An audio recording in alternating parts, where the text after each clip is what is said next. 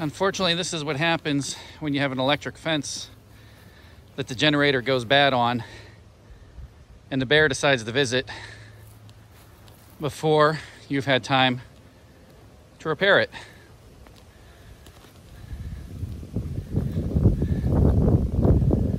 You can see comb and brood, honey. There's still a little bit left of the colony. I'm hopeful maybe that the queen's in there somewhere.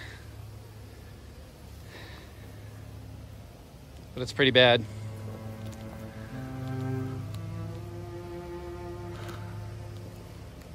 That's hive one. Hive two is uh, undisturbed, surprisingly.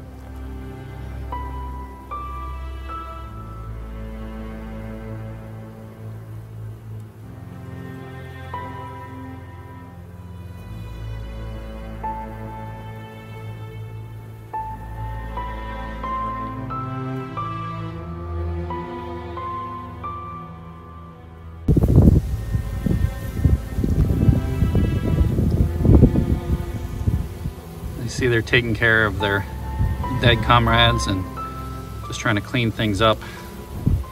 I have a few frames here. I have another one I could probably salvage. I still haven't found the queen though.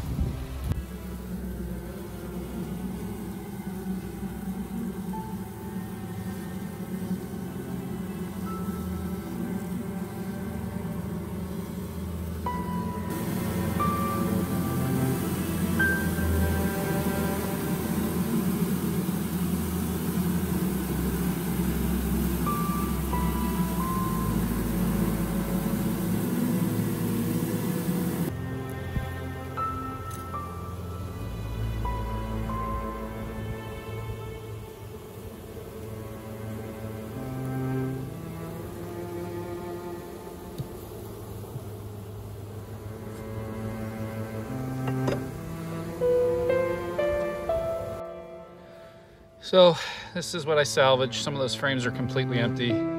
Some of them are mostly destroyed. I have two that are good and intact. I maybe have one brood frame left and put the water back in there, but I gotta go make some sugar water. I haven't found the queen. Uh, I don't know if she's in there. I looked and looked, but uh, there were a bunch of bees congregating on the two frames that were left in the hive. So maybe, uh, maybe she's still alive. I don't know. Guess we'll find out. If uh, if not, there might be some brood in there. They can raise up a new queen pronto. In the meantime, um, still at risk for this hive getting taken out again or the other hive. So luckily, that one's fine. Hasn't been touched.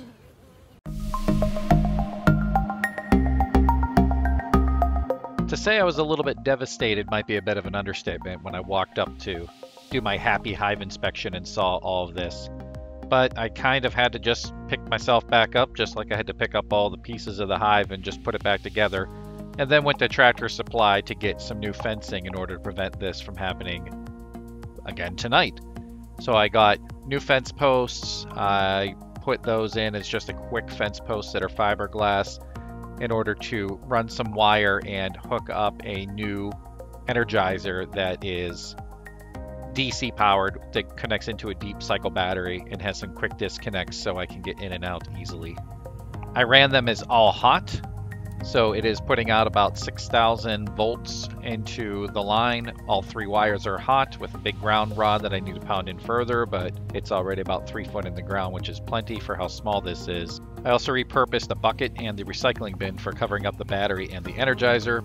And luckily this little guy made it through a little bit better than the hives themselves, but didn't do too much to protect us. I figured I would take the opportunity to expand the fence overall perimeter. It used to start there, and I expanded it out to here. I will need to get some stronger corner posts, but this will do for now. By the time I finish the electric fence, this is what the hive was doing. I really don't know what they are doing. The bees are trying to come back in and they have completely occluded the opening, so I opened up the other vent so that they can get in there as well. I'll check on them tomorrow and see what's going on and see if I can figure that out. Hopefully the queen is in there and hopefully they make it.